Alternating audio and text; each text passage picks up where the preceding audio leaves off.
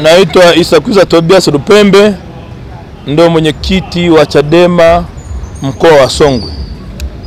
Maandamano tarehe 24 na sisi kama mkoa wa Songwe tumetoa msimamo wetu kuunga tamko la kamati kuu kuwa tutayapokea maandamano moja kwa moja kuhakikisha tuna, tuna, tuna, tunaandamana maandamano ya amani ya kudai haki zetu za msingi, katiba, tume huru ya uchaguzi na miswada ambayo imepelekwa bungeni ni miswada ambayo haina maslahi kwa wananchi na kwa Tanzania kwa ujumla.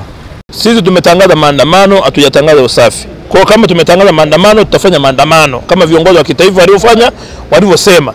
Kwa swala la usafi yule, kwanza swala la usafi si alihusiana na sisi, na kama ni usafi ni la kitaifa, swala la usafi ni la kitaifa tutashiriki, lakini kama swala la usafi sio ajenda yetu kama Chadema, sisi tutashiriki maandamano kwa swala la usafi si hatuhusiani nalo kabisa, kwa sababu huwezi kutaja usafi siku ambao watu wametangaza, taasisi fulani imetangaza e, wana haki ya kikatiba wametangaza kufanya maandamano, alafu wewe unasema tunafanya usafi wanajeshi. Kwani sio kazi yake yeye kama mkuu wa mkoa? Kwa hiyo niseme, nitoe tu rai kusema Mheshimiwa Rais yeye atambue kabisa kusema watu anaowateua lazima ataua watu wenye akili timamu ambao wanaweza kusimamia maslahi ya umma.